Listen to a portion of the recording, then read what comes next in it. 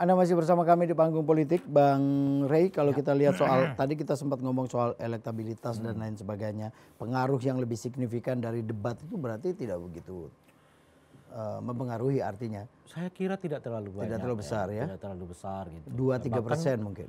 Ya mungkin sekitar segitu. Mungkin sekitar gitu. itu. Bahkan menurut saya kampanye terbuka ini juga relatif sudah tidak tidak begitu berarti. membantu, gitu. Apakah karena sudah ada kesulitan dari masing-masing pemilih ini artinya?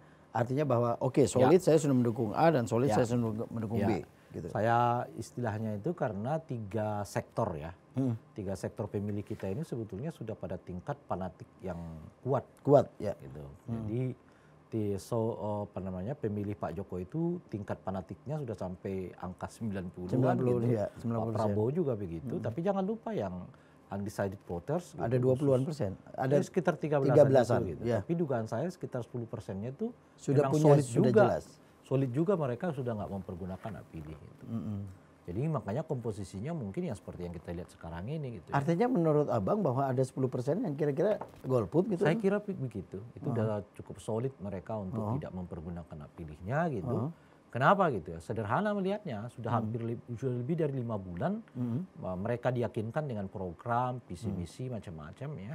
Tapi faktanya nggak bergeser yang 10% itu. Gitu. Hmm. Itu artinya apa? Itu artinya dugaan saya mereka juga sudah cukup fanatik untuk tidak mau datang ke TPS mempergunakan hak pilih mereka gitu. Ada beberapa lembaga survei yang sudah sedikit memberikan gambaran bahwa apa yang terjadi pada tanggal 17 April nanti. Ya. Eh, ada beberapa yang memang sudah sedikit menyimpulkan bahwa kira-kira kemenangan berada di kubu Jokowi dengan 59 atau 60 persen, bahkan ada yang 62 persen gitu. Apakah itu sudah terbaca dari langkah satu minggu sebelum ini? Ya itu kan rata-rata survei yang dua minggu menjelang hari Iya. H ya. Tentu eh, pada tingkat tertentu kita akan mengatakan mungkin itu jadi gambarannya gitu. Memang juga bacaan saya itu jadi gambarannya gitu. Meskipun di salah satu lembaga survei misalnya masih tetap memberi catatan bahwa ang- eh, Pak Jokowi misalnya belum sampai ke angka 50 persen gitu ya. Tetapi kalau lihat trennya gitu ya, misalnya kubu peta kubu katakanlah penantang ini, kalau dilihat dari kemampuan mereka untuk meraup suara dari no dari pemilih undecided lah kita gitu ya, atau dari kelompoknya pemilih 01 gitu, setiap bulannya itu hanya satu persen gitu, Peningkatannya ya? ya peningkatannya gitu. Artinya mereka butuh kalau sekarang misalnya sudah rata-rata 37 gitu, Iya. itu artinya kan mereka butuh setidaknya tiga bulan ke depan untuk Iya, sampai ke angka untuk 40, bisa, kan ya. kira-kira itu ya. Bahkan kalau ke 45 mungkin butuh lima bulan ke depan. Lima bulan ke depan. Padahal Sementara kita sudah tinggal- lihat tinggal, tinggal satu dua minggu, minggu dua lagi minggu gitu. lagi. Ini sudah kita kali kita lipatkan nih gitu. Misalnya dia butuh tiga bul tiga tiga persen per bulan misalnya begitu. Relatif sulit masih tetap sulit dikejar oleh sang apa namanya ya sang sang penantang. Sang penantang. Itu teorinya ya. Ya. Kita tidak berbicara misalnya mana tahu di tengah seperti sekarang ini ada yang melakukan politik blunder gitu. Ya. Nah, itu kan beberapa kali terjadi. Pak Jokowi misalnya juga 2014 itu relatif dibantu karena adanya pernyataan blunder dari Dari kubu lawan. Pak Ya, Prabowo Pak itu Prabowo, kan. ya. Sehingga relatif dia mendapat limpahan suara bisa sampai 3-4 persen kan saat Ya, itu gitu.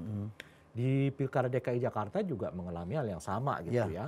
Petahana tinggi gitu tetapi kemudian blunder. ada, sedikit uh, ucapannya yang dianggap blunder gitu, dikapitalisasi sedemikian rupa, dan ujung-ujungnya kita tahu yang bersangkutan kalah dalam pelaksanaan pilkada gitu. Tapi makanya mungkin dalam dua minggu ini kita nggak tahu siapa yang akan melakukan blunder gitu, yang bisa saja itu mempengaruhi suara gitu ya, sehingga Ya. terjadi perubahan. Apa yang dilakukan oleh orang yang terdampak blunder itu? Harusnya. Ya kalau udah menjelang itu udah sulit. Udah sulit udah ya. sulit agak bangkit. Itu udah pasti trennya akan turun. Nah, cuman turunnya apakah drastis gitu ya, atau turunnya secara perlahan gitu.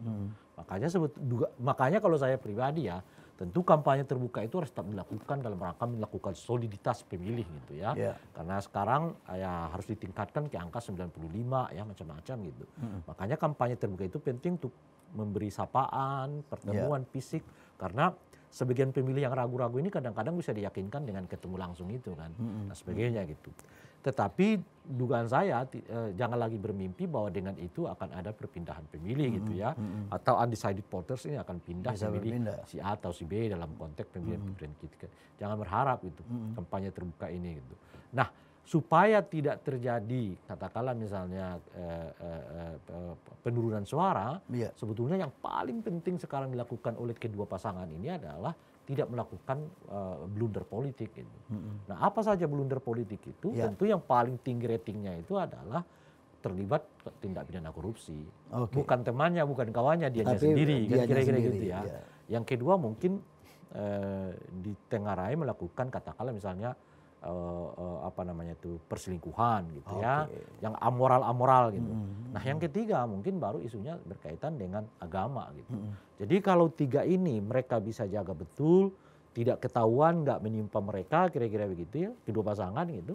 Saya kira ya akan stabil seperti yang sekarang ini saja. Berarti kalau stabil sudah terbaca sebenarnya pemenangnya siapa? Ya, tentu kita bisa tidak bisa kita pastikan. ya. Iya. Cuma secara uh, Kecenderungan. se- ya, secara secara teo- teoritik gitu ya dari berbagai survei itu ya begitu Iya. gitu. Karena kan sebetulnya kan udah bisa ditarik dari kesimpulannya ya Hmm. dari berbagai lembaga survei itu yang uh, relatif mengkonfirmasi selisihnya hampir mencapai dua digit gitu. Iya. Oke bang, kalau kita lihat bahwa eh, debat berikutnya, debat berikutnya mengangkat ekonomi, kesejahteraan sosial, kemudian keuangan dan investasi. Ini ada beberapa hal-hal yang bisa dijadikan eh, bahan serangan oleh kubu 02 misalnya. Ya justru nah, ini temanya Jokowi justru gitu. Iya. Heeh. Tema Jokowi untuk mengatakan keberhasilan dia di, di empat bidang ini. Iya, gitu. Kan kalau misalnya di counter dengan soal apa namanya Investasi misalnya. apalagi investasi ya kan. Di sini juga kesempatan beliau menceritakan betapa pentingnya infrastruktur gitu ya, macam-macam dan seterusnya itu gitu. Ini menurut saya adalah tema yang sebetulnya oh, Semakin memperkokoh oh, iya, posisi. akan dapat diambil sebagai temanya Pak Jokowi gitu. Oke. Kalau dilihat dari kelima tema ini sebenarnya Hmm, Ekonomi, saya itu sosial. bukan kelima tema debat ini. Oh iya, selama 1 sampai 5, sama-sama putaran 1 itu, sampai 5. Di tema-temanya Pak Prabowo itu menurut saya ada pada debat pertama dan debat keempat kemarin. Keempat gitu. kemarin yang soal Iya, TNI, TNI, karena militer, pertahanan, pertahanan, dan gitu ya. lain-lain, ya. Sebetulnya kalau eh, optimal dilakukan oleh kubu 02, banyak menurut saya lubang yang bisa dipersoalkan dari Iya. eh, dari eh, pengelolaan khususnya di bidang pertahanan dan keamanan gitu. Di rejimnya Pak Jokowi ini Iya. kira-kira gitu ya. Tapi kalau yang dua, yang lima ini, ini ibarat saya itu temanya Pak Jokowi kira-kira gitu ya. Karena memang ini tema yang, ya. ya ini tema yang memancing beliau untuk bisa menjelaskan apa saja yang sudah dicapai selama lima tahun terakhir ini gitu ya. Justru eh, beliau bisa semakin mengeksplor Ya, ini ya, ya, ini dia kan- sebagai sebuah kekuatan. Ya, dia kan mis- misalnya eh, tumbuhnya kepercayaan investasi asing Ya. macam-macam ke dalam kita ya. Beliau juga bisa menjelaskan apa pen- makna penting dari infrastruktur yang dibangun, Yang kan kira-kira dibangun, gitu ya. Tingkat pertumbuhan yang relatif terjaga, kan kira-kira gitu ya. Angka kemiskinan yang kata-kata katakanlah misalnya menurun ya. Dan misal dan lain-lain dan lain-lain dan lain-lain gitu. Oke. Itu justru itu yang saya sebut tadi.